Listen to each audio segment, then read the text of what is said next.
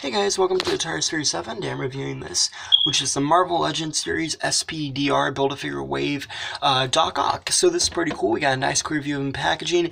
We have the Legends Series up here, Marvel Spider-Man Doc Ock. Some pretty cool artwork on the side. We have Build-A-Figure SPDR, the spider symbol, and, uh, you know, your basic stuff. On the back, we have this really cool picture, a bio, and the other characters available. So yeah, uh, really blessed to find this day. I picked up the entire wave, but I was not able to find Doc Ock, so, uh, you know, when it was originally so really happy to find him today and uh, be reviewing him. So yeah, Oh, here we have Doc Ock. And I want to point out that I think I have put his arms on right. I may not have.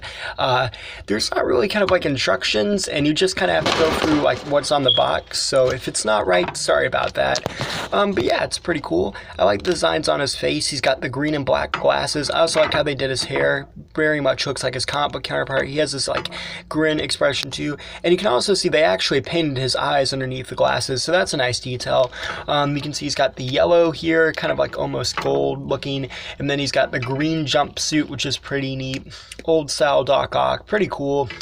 He's got the yellow on the belt, and then he has these yellow gloves and uh, yellow boots, and then this side too. He has a fisted hand and a grip hand. So, you know, pretty much kind of green and gold, almost yellow.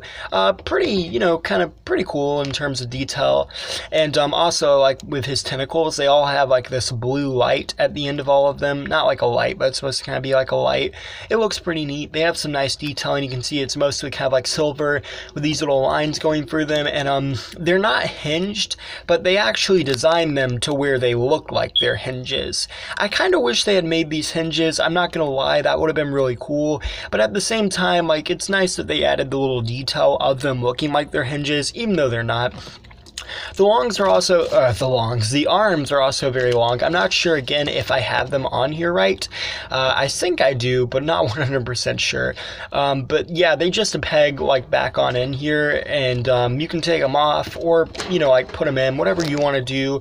Pretty neat. In terms of articulation, he's got a 360 at the head. He can look up and down. Yeah, the 360 at the arms. They swing out at the shoulder, 360 there. Double jointed elbow, 360 at the wrist and it's on a hinge. You have a 360 at the torso. It's that weird kind of joint that kind of like allows and move a little bit. It is kind of stiff. I'm assuming that's because of the arms. Speaking of the arms, they can rotate about 360, um, but they can't move that well. You can bend them, but they're not really supposed to bend. And there's a 360 here. They're kind of like on a ball joint, so you can kind of move them a little bit. So that's pretty cool. The legs come forwards, backwards, and outwards. You have a 360 at the thigh, double joint knees, 360 at the boot, and the feet kind of move side to side and go up and down.